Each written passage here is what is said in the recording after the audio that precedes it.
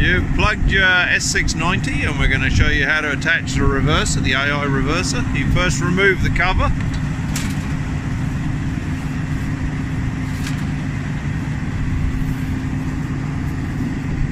We're now going to attach the hub with uh, three bolts which are supplied. We're going to put this on the end of the uh, feed accelerator.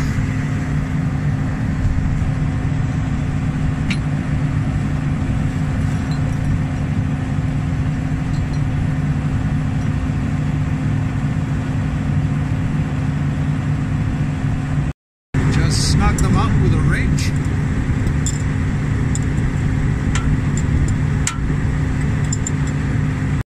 Now going to remove the retaining pin so that the head will be uh, able to be lifted up. With the pin removed, now lift the ratchet head up and have to put it into either forward or reverse to align it.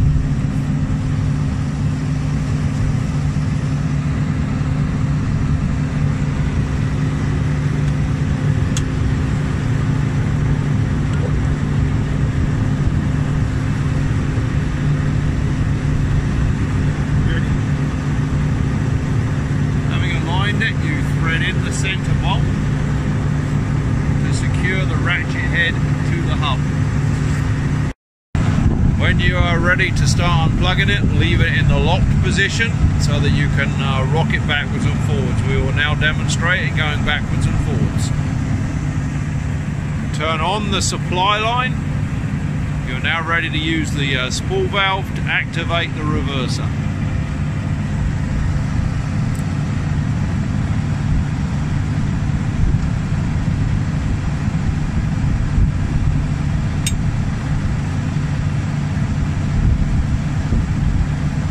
With it in the lock position, as you can see, it will just rock backwards and forwards, which will allow you to gain some movement if and uh, clear the slug.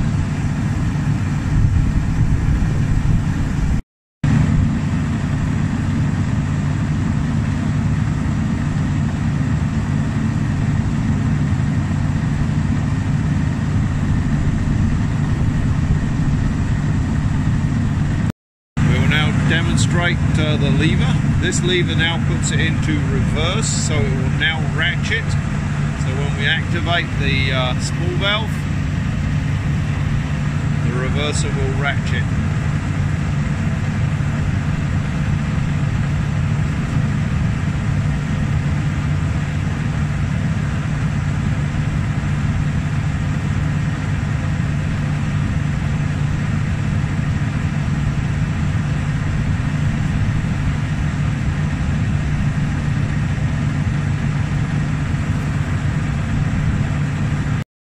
When you're finished using the reverser, re- retract the cylinder fully.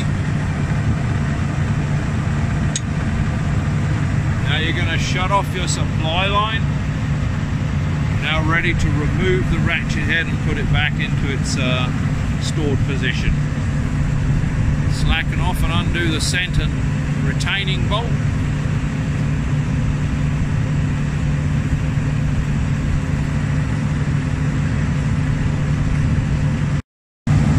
The ratchet head from the hub, lower it down, and then replace the lock pin which holds the reverser in the stored position.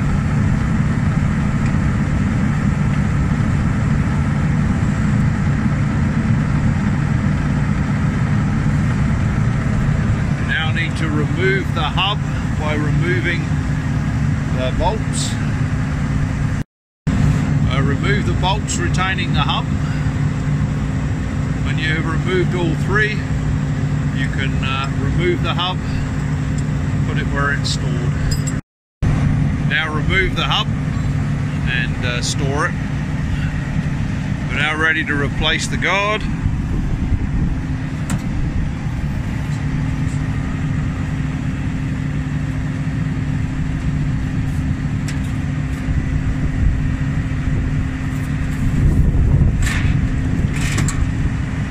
and you're good to go again.